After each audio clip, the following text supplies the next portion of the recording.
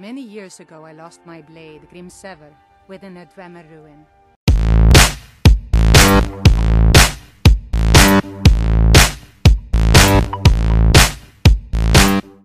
What's up, viewers? Brad, proprietor of Barstool Entertainment, doing another Skyrim video. This is going to be covering the quest bestowed upon the Dragonborn by Mjoll the Lioness. Well, actually, he volunteers for the quest, and it's to recover her blade Grimsever from the Mitzel ruins where she lost it. Now, Mjoll has an interesting story, and we will get into that after this. And you can see her walking by on the right there. And she is actually a marryable character, and probably one of the better characters to marry. And, well, at least better than the current wife that my Dragonborn has. But I digress. I really don't want to start over a new game just to marry Mjoll.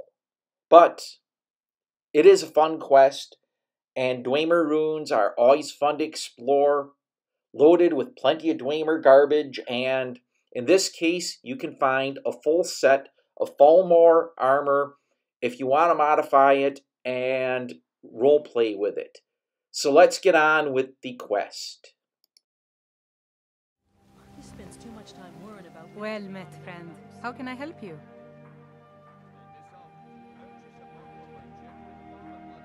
I've been adventuring across Tamriel since I was a fresh-faced young woman barely able to swing a blade. My travels have taken me from High Rock to Valenwood, elsewhere to Morrowind, and all points in between. Many years ago I lost my blade, Grimsever, within a Dwemer ruin. I took it as a sign that I was wasting my days in search of wealth. You and I are alike. We seek challenge and great fortune. But for me, that's where the similarities end. You see, Riften is my great beast to be slain, and my fortune comes from gratitude and trust. It was lost years ago in a Dwemer ruin. Without it, I feel almost as defenseless as a newborn. I don't think I'll ever be able to find a replacement. I couldn't ask you to undertake such a treacherous journey. It would be a fool's errand. But I see that spark in your eye, and I know better than to warn you away. Grimsever rests within the Dwemer ruin of Mzinchaleft. Tread carefully, friend. Those same ruins almost took my life. Please be careful. I... I was adventuring in the depths of the ruins when I was attacked by a massive construct, like nothing I had ever seen. When the Colossus struck, Grimsever was knocked from my grasp, and I was wounded badly. It was only through blind luck that I was able to crawl away from the Dwemer abomination and make my way to the surface. I must have collapsed, because the next thing I remember is Aerin standing over me, tending to my wounds. Please be careful. I don't wish to be the reason for your death. If you have done some exploration of Skyrim like I have, then I've already located Mittelschaft uh, on the map, and I'm going to fast travel there to start the adventure. It is right, uh, not there, mm, right there, midsole shaft lift or whatever. And I'm going to fast travel to start this quest. And once you arrive, there are bandits, and you have to fight them in order to get into the ruins.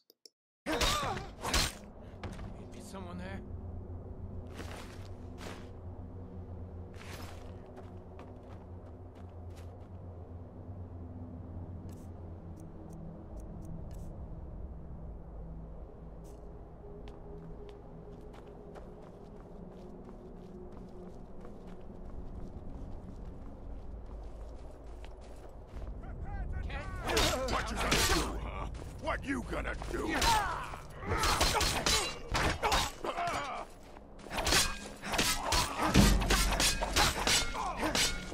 Go ahead, try and fight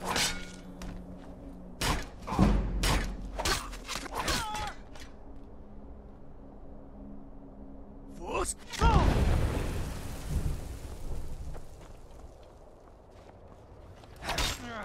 Your bastard!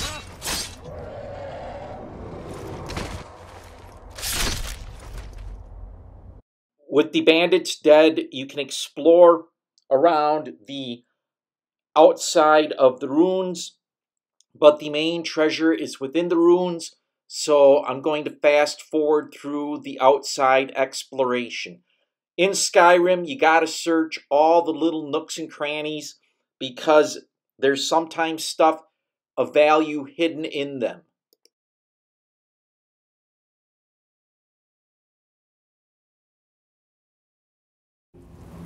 Once you enter Misselschaft, you're going to notice Dwemer junk strewn about. None of it really valuable. The cogs and other stuff. Uh, you can search the damaged or destroyed dwarven, um, what you call it, automatons. And one of these is actually a good one to stick uh, stuff like large decorative struts and to kind of pack rat nearby so that once you've completed the entire mission, you can just store stuff in one of these Dwemer automatons because they don't go away and you don't become encumbered. Now, I'm going to go sneaky sneaky. There's some bandits up here, so let's take care of them.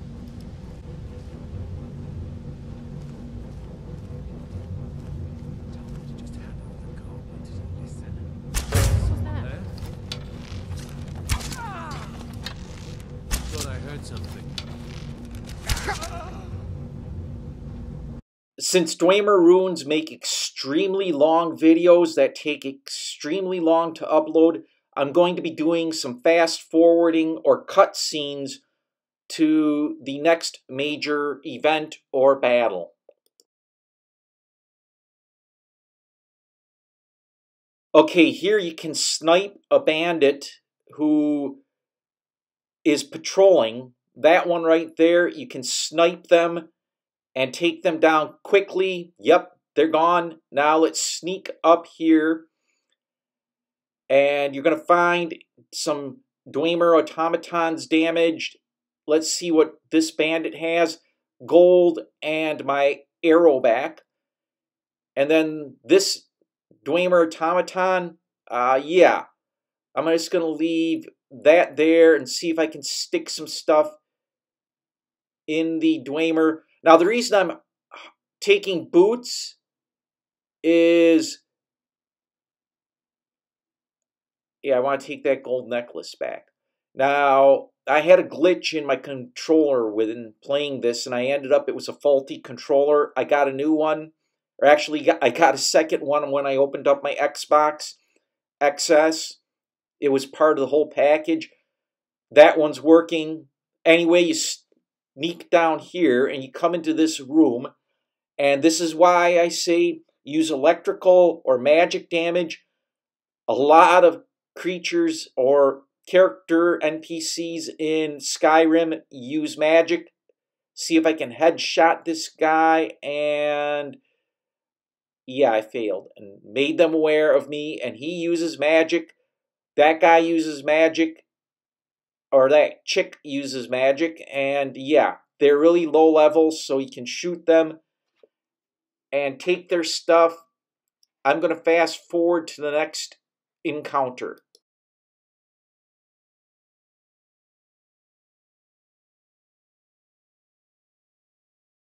This guy is actually guarding a room, and if you join the Assassin's Guild, this room will have some importance. It resets. He has gold and a key and get my arrow back. Now, this room, again, Maluril's room, has again some importance if you end up joining the Assassin's Guild. You will be sent on a mission to kill this guy, Maluril. Now, let's see. I'm going to switch to my swords. There is no one else here. But again, you find a treasure chest and some other things, they regenerate if you come here now and nothing there but gold. You got some of Maluril's journal. You want to read through it. Lucky, blah, blah, blah, blah. He talks about coming to this site now and having problems. Yeah, again, you assassinate him. I'm going to fast forward to the next encounter.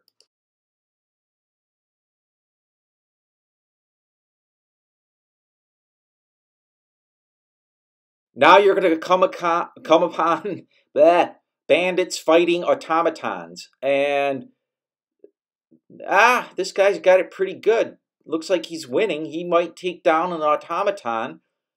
And, yep, one goes down, one of the bandits goes down. Then this chick comes here. She's shooting at the automaton, and then she starts shooting at you. Well, you gotta fight her.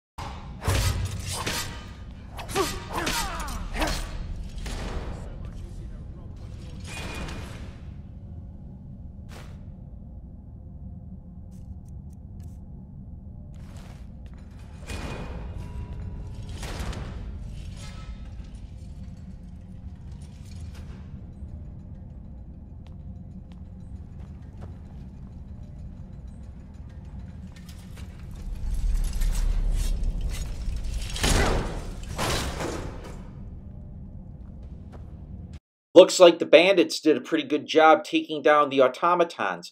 Now, there are, or is, a dresser that you can hide stuff in and store stuff in to pack rat, and then you can come back here and retrieve the uh, stuff you uh, store because you can become increasingly right there, treasure chest. It's empty, but fill it up with stuff. You can come back, carry this stuff out, and not lose it.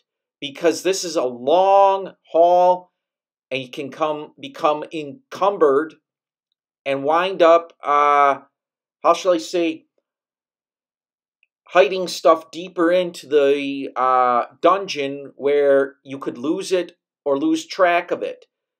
Again, close to the beginning, one layer in, hide stuff, pack rat stuff, or near the very end.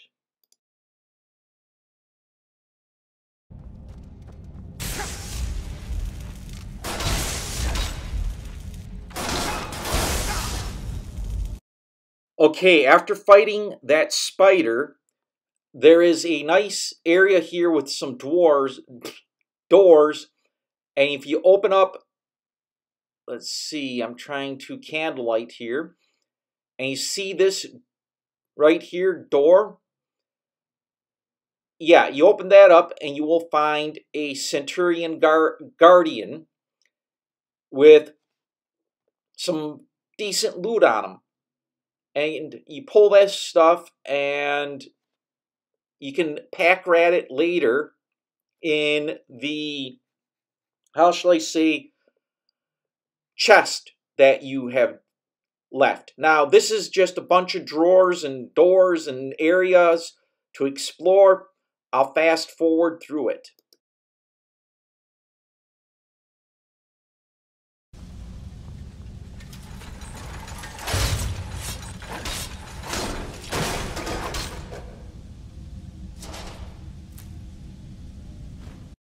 This point, there's going to be some other dwarven spears, spheres that you encounter, and yeah, you're going to wind up encountering a trap, or not a trap so much as a puzzle in order to get down to the next lower level.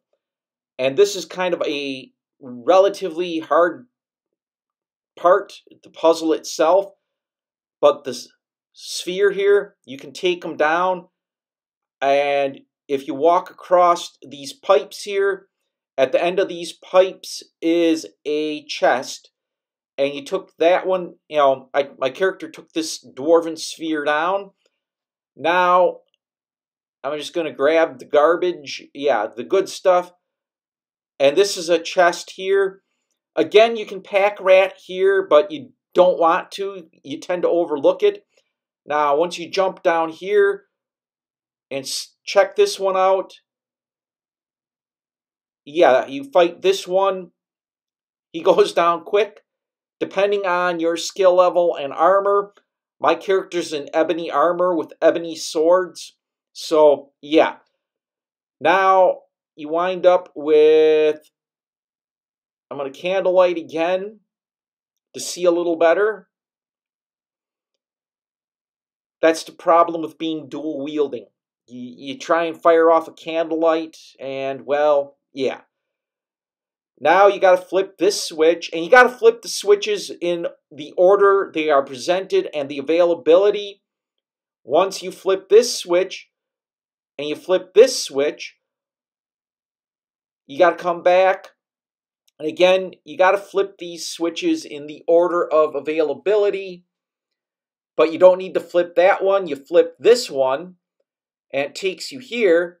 And you flip this one, and what it does is after you flip this, you can walk around and again, you got to flip these switches in order of availability. This opens up and you can start steam, which will drive the elevator. And you check out this chest and yeah, there's up, oh, there's a large strut back there. I'll grab that later. This requires a master lock. I'm going to fast forward. I had a hard time. As I've said before, carry at least 100 lock picks or buy something or wear something that enhances your lock picking skills. This had a lot of nice items in it. I'm going to walk around here and nothing over here. So I'm going to go down to the next level. You have to activate that um, wheel that lets the steam go so you can go down to the next level. This next level, you will immediately start to encounter some um, who are kind of reprehensible creatures. Ah, common soul gem Dwarven oil, you can sell. Dwarven gyro, no. Uh, yeah, gold, spider egg, don't care too much about the ear. This one, I crouch, flip to first person view, and I'm going to take these Thalmor down with bow and arrow.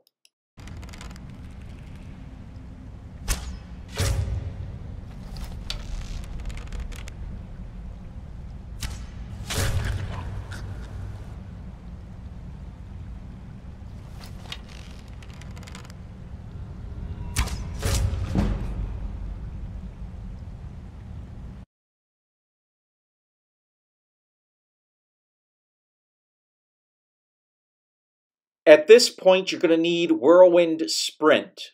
Why? Well, there's a chest on the opposite side, and with Whirlwind Sprint, you can get to that chest.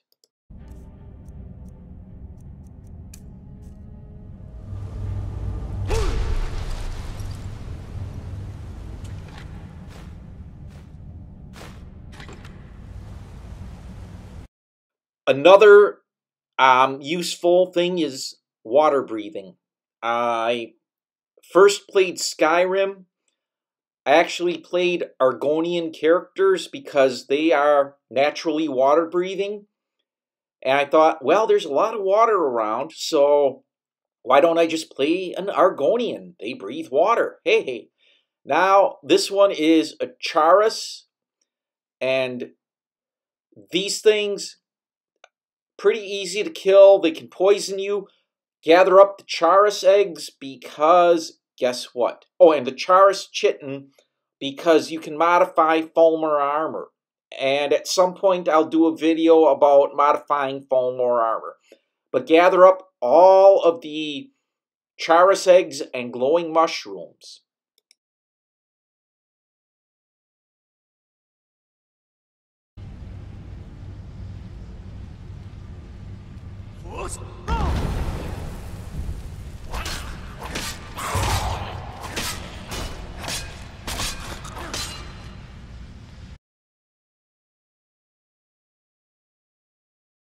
Remember when I said water breathing is a good thing to have?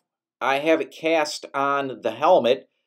So, mage light or candlelight, and you go swimming, there are some hidden chests and a hidden room in this water. Right here, immediately to the right, is a hidden chest. The hidden room you have to explore a little bit to find. So I'm going to fast forward to when we get there.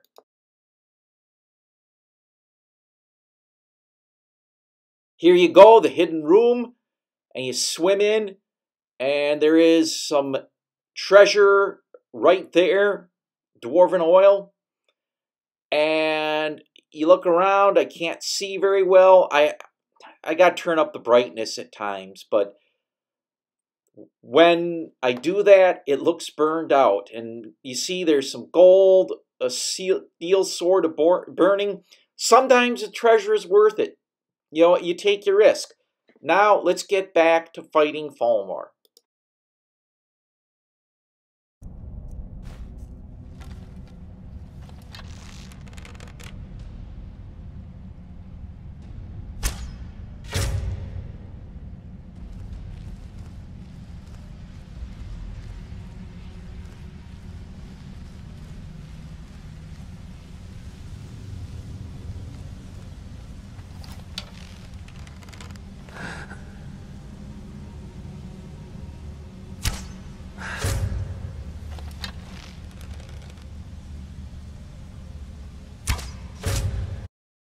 Now I'm going to do some major fast forwarding because this video is getting really, really super long. Now you get to a temple type area and I'm taking this guy down using my archery skills. And again, I'm just going to fast forward to another guy.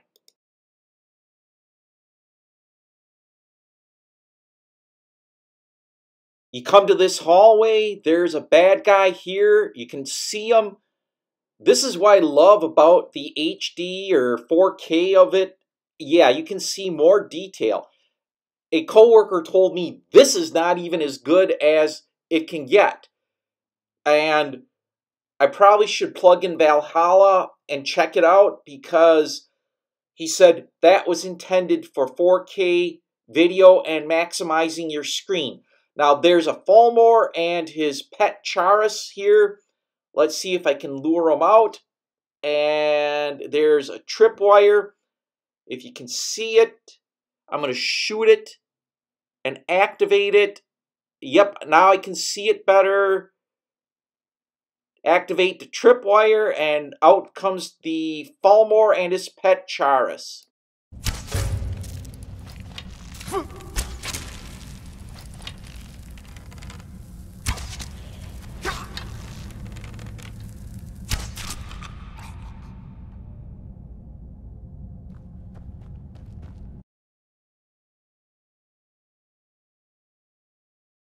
Okay, this is a major room in this uh, adventure.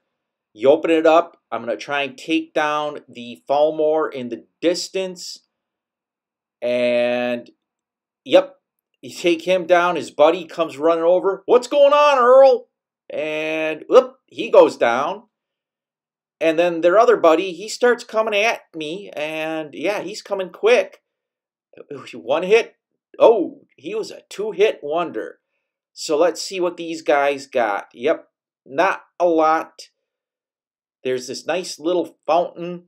I'm going to check out the Falmer first, but this place has a couple of Falmer chests. This guy, let's see. Yep, I get my ebony arrow back. And then that's about it. Now let's check out these Falmer chests. They look kind of, yeah, this was unopened. This one not sealed. And this one not sealed. Now, don't care about the iron mace. Iron weapons suck. Now let's flip to swords because now that we're going to go up this ramp, there's a Thalmor at the top. I know this and some very interesting stuff. So I'm not going to fast forward. You open this up. You take this guy down. Yeah, he's pretty tough. Yep, but he went down. And let's see. Take that. Take any Chaurus eggs here. Right here. Glowing mushroom. Now, before we go over there, we hit this button because it opens a door down there. And you can see there's some more rooms you're going to have to go through. Now let's go to this and lockpick its expert. Let's see. Up, um, see if I can get this right. First time, and nope. This room actually has some goodies in it. And this chest over here, I'm going to take the Thalmor helmet, and I'm going to open up this chest. Ooh, plate metal. Yeah, Breezer's armor, to hell with this. Now you go over to the other side here, and there is a full set of Thalmor armor. This is why you need Chaurus Chitin.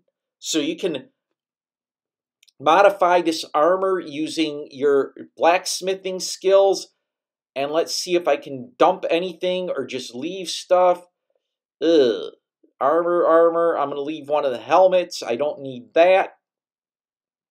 Um, yeah, a lot of this stuff I'm not that encumbered, so I'm going to keep going on. This is where I'm going to fast forward. This gate would normally be sealed. That's why you hit that button at the top of the uh, Dwemer uh, tower. And this guy, I take him down, but his buddy is coming at me.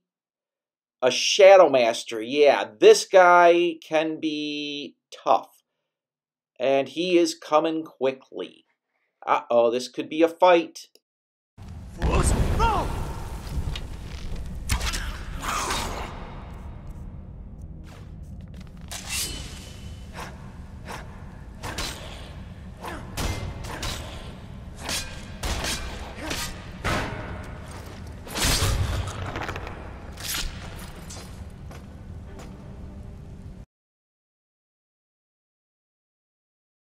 This room bears mentioning, and it's off to the side when you're running toward the Thalmor tent. You'll see it.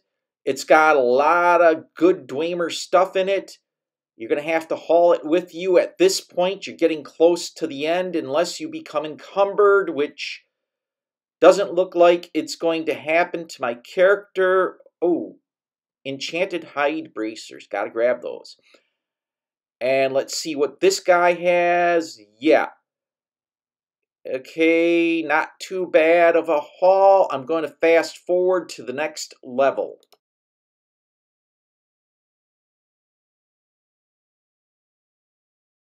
Okay, the Mitzelschaft Gatehouse. This is where Mjoll, the lioness, uh, encountered the Dwarven Centurion. Let's see if I can get his attention here. Yeah, got him. You do not want to get fried by these guys. It's a master centurion, and his steam will roast you quickly.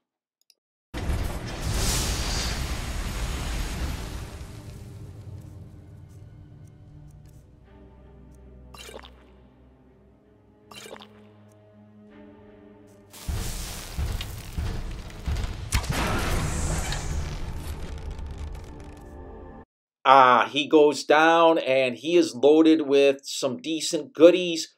I'm going to flip to swords because, yes, there are other Dwemer constructs and automatons. Grab everything this guy has except for the junk. And let's go into the room he was in. And you will be, be, be, be set upon by a Dwemer sphere who should be pretty easy. Now, there is a lot of good stuff in this room, so I am not going to stop talking. And you're going to become encumbered.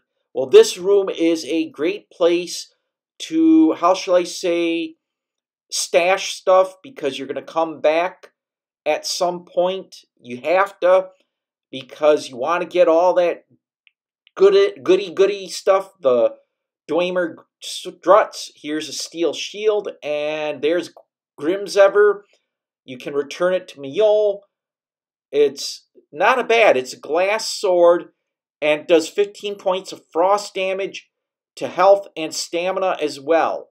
Yeah, that that's pretty good sword. Now over here, if you have already done the Augum Infinitum quest, you will have a attunement sphere and you can open that door and go down to Blackreach.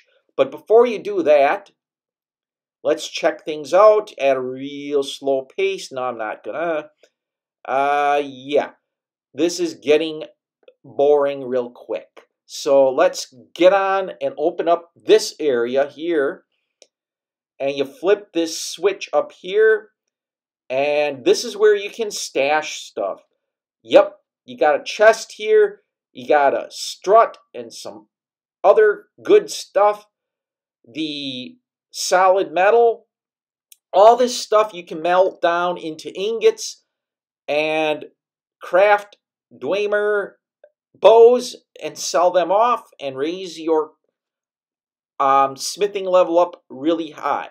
I'm going to take the garbage out instead. And then I'm going to put in the stuff I want to store. All this stuff and the Chaurus chitin and etc. Yeah. And the garbage I'm going to throw away.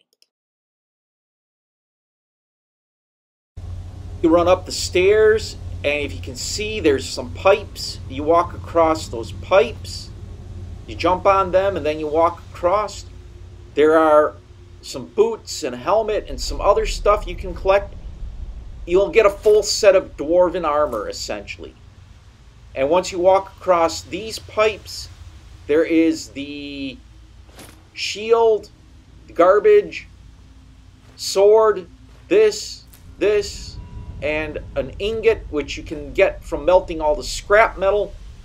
I'm going to drop down here, run over to this area. Nothing here.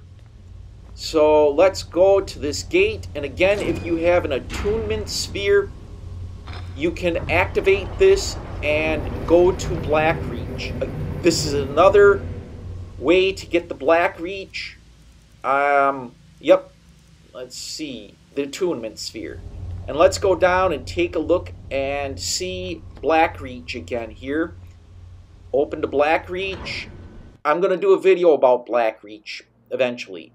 But now you've got the missile shaft, shaft and exit. There's another um, elevator you can ride up that will take you to the surface that is right next door. But I'm not going to do that. I'm going to return to Mzinchaleft and finish the mission. Finish this mission. Okay, you open these doors and there will be an elevator shaft that will take you to the surface. And it will be on the back end of Mzinchaleft. Now let's see uh, yeah, go through the load screen. At least it's not 20 minutes like it used to be. You can open this up here. And I've told you to pack rat close to the beginning or at the end here. Here is the back entrance to Mzinchaleft. This is where Mjoll probably crawled out of and was found by Aerin. And it's nice. So what I'm going to do is I'm going to see if I can mark it on the map. If not, I get a good idea of where it's located here, Mzinchaleft. I can't put a marker, so I'll just pay attention to the map, and I'm going to fast travel back and forth. You don't need to see that.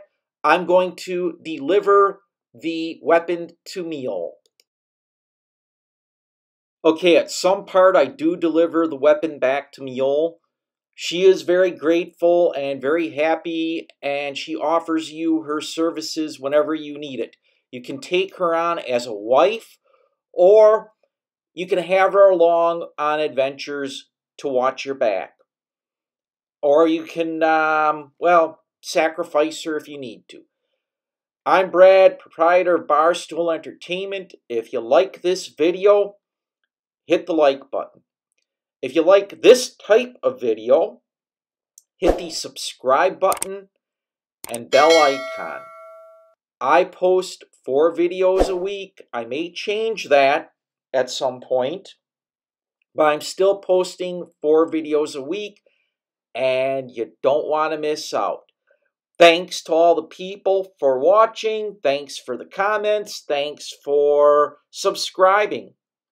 And most of all, thanks for stopping by.